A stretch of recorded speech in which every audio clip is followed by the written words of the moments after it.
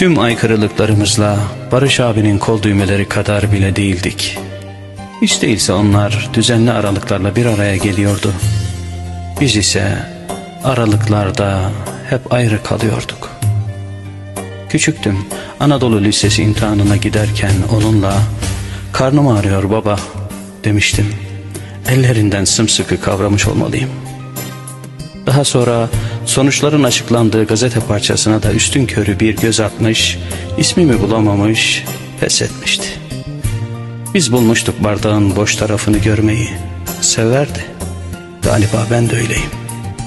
Aylardan ne fark eder?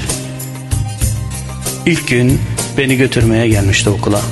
Bir de bilmem kaç yıl sonra bir veli toplantısı için gelmişti tekrardan. Üçüncüyü hatırlamıyorum. O veli toplantısında da stres yapmıştım. Stresten ve tabii ki başka nedenlerden şehrin benim için uygun tek sinemasına gitmiştim. Evrenin Askerleri filmine. Tabii annem izlediğim filmi belgesel zannetmiş. Kenan Evren'in askerleri. o da o da beni tebrik etti. Kültürel bir aktivite yaptığım için. Bugün evren yok. Bugünün evrenlerine duyurulur. Her neyse.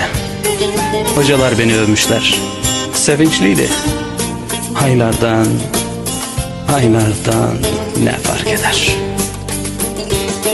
Cumhuriyet Caddesi'nden bana aldığı bisikletle süratle aşağı inmiştik. Önde o, arkasında ben. Benim kıvançla onu anmama yetecek bir hatıraydı.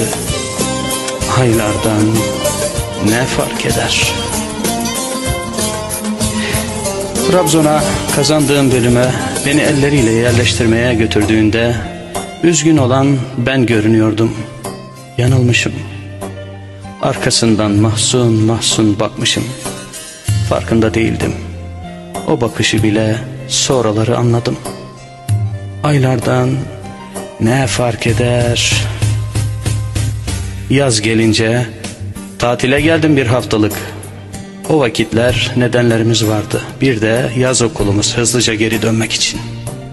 O tüm yaz evde olmamı bekliyordu. Bir haftayı duyunca celallendi, evden kovdu. Gitmedim tabi. Bir hafta sonra giderken yolculamaya geldi. Zaten öfkesi su gibiydi, akardı. Bu da bir kaybedişmiş, geç anladım. O vakitten sonra hep uzaktaydım. Hiç yakın olamadım. Aylardan ne fark eder? Bu kez, bu kez çok uzaktaydım. Yazın gelemeyebilirim, param yok dedim. Net olarak cevap verdi. Oralarda sürüneceğine paranı vereyim gel buralarda sürün. Yürekten söylememişti, biliyordum. Ben de zaten gidecektim. Benimkisi sadece olası bir aksiliğe karşı önlem itiyadıydı. Aylardan ne fark eder? Her neyse bir gece haberi geldi. Gitmiş. Ben yine çok uzaklardaydım. Bir düğüne gitmiştik başka şehre. Yol dönüşü bir toplu taşıttaydım. Herkes arkadaşımdı taşıtta. Sustum, ağladım. Aylardan Eylül Baba dağdır Baba dağdır Ellerinden öperim. Mekanım cennet olsun. Işığım